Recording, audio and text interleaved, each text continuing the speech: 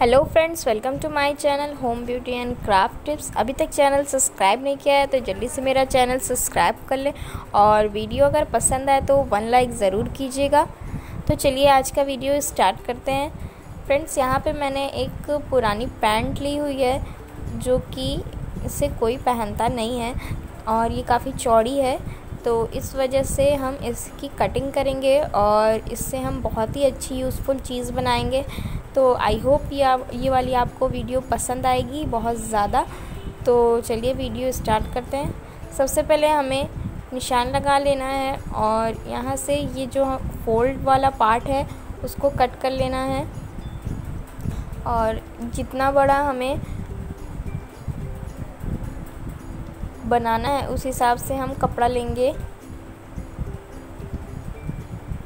तो मैंने यहाँ से इतनी इसकी लंबाई कट की है, आप और ज़्यादा भी कर सकते हैं। तो इसको मैं कट कर लूँगी।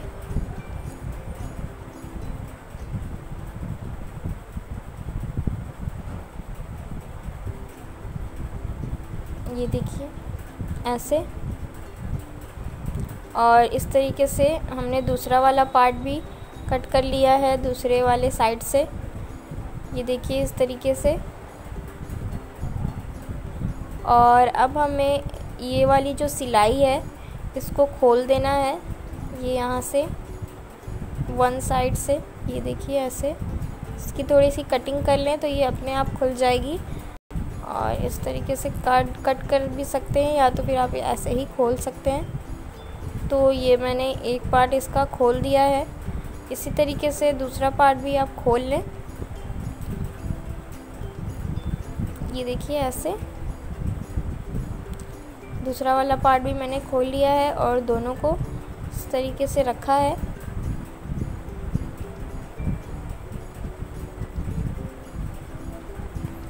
और अब हमें नीचे वाला पार्ट ऊपर रखना है और ऊपर वाला पार्ट नीचे करना है इस तरीके से। और यहाँ से हमें निशान लगाना है और हमें नेक की और शोल्डर की कटिंग करनी है। ये देखिए इस तरीके से।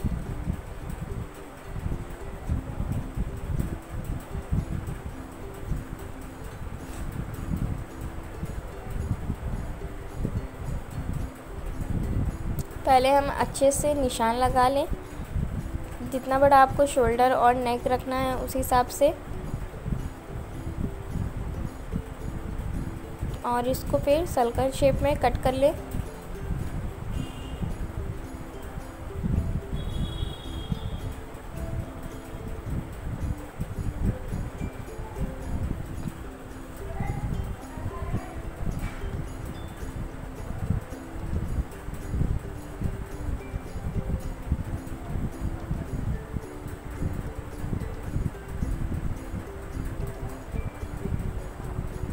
देखिए, इस तरीके से हमने शोल्डर और नेक की कटिंग कर ली है और अब हमें नीचे का भी थोड़ा सा सर्कुलर शेप में लाना है।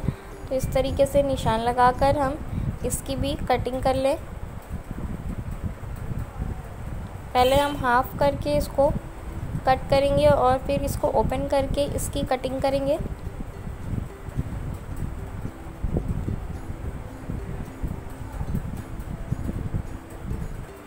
इस तरीके से निशान लगाकर अब हम इसकी, आप चाहे तो इस तरीके से भी डिज़ाइन रख सकते हैं, या तो फिर आप बिल्कुल सर्कुलर शेप में भी इसको कर सकते हैं।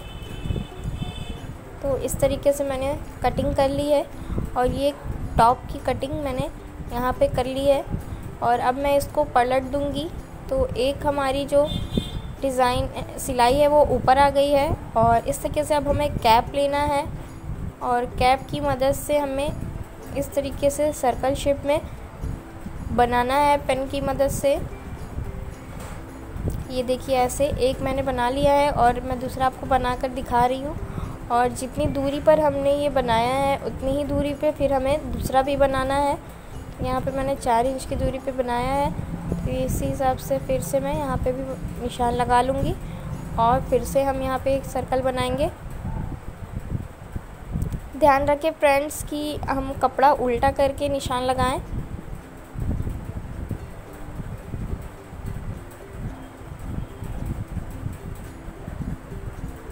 ये देखिए इस तरीके से।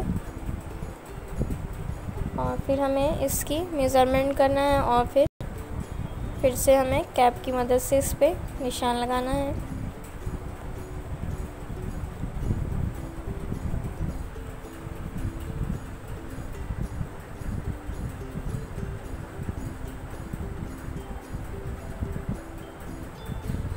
ये देखिए इस तरीके से।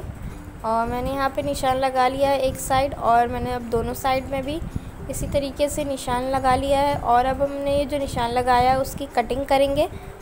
तो कटिंग करने के बाद कुछ इस तरीके का टॉप का हमारा लुक आएगा। ये देखिए इस तरीके से। और फ्रेंड्स अब हमें करना क्या है? इसमें मैंने यहाँ पे अगरबत्ती का यूज़ किया है, जिसकी मदद से हम इसके धागे को थोड़ा थोड़ा इस तरीके से जला देंगे ताकि इसके धागे नहीं निकले। और इस तरीके से जब हम कढ़ाई भी करते हैं तो इसी तरीके से अगरबत्ती के यूज़ से धागे को सही करते हैं। तो ये बहुत ही अच्छी ट्रिक है धागा ना निकलने की और इस तरीके से आसानी से आप कोने से भी धागे को निकलने से बचा सकते हैं। तो इस तरीके से सारे सर्कल में इस तरीके से लगा दें। थोड़ा थोड़ा ध्यान से करें फ्रेंड्स।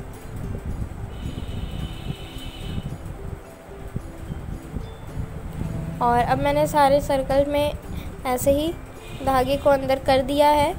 और अब हमें एक रेड कलर की पट्टी ली है, जिसको हम इसके अंदर रखेंगे सर्कल के। और जब हम इसको पलटेंगे तो इस तरीके का लुक हमारा टॉप का आएगा।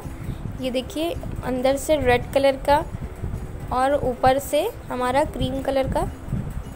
तो इस पट्टी को हमें सिल देना है और दोनों साइड हमें पट्टियाँ सिल है ये देखिए इस तरीके से।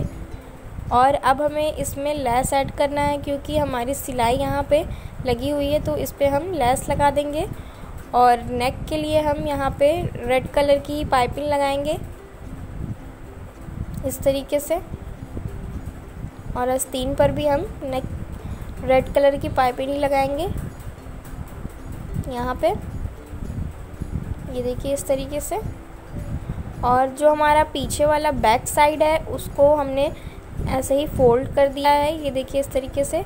और नीचे का भी पार्ट हमने इसी तरीके से फोल्ड कर लिया है।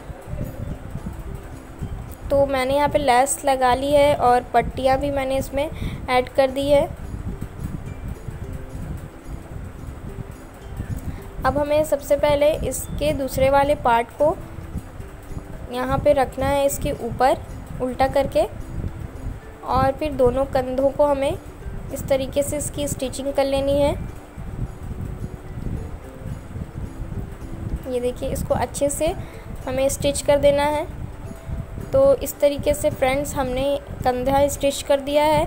और आप जितनी फ़िटिंग चाहें, उस हिसाब से इसकी फ़िटिंग रख सकते हैं और फिर सारा यहाँ से साइड से बंद कर सकते हैं दोनों कपड़े को। ये देखिए, यहाँ से मैंने सिलाई चला दी है। दोनों साइड से क्लोज़ कर दिया इसको।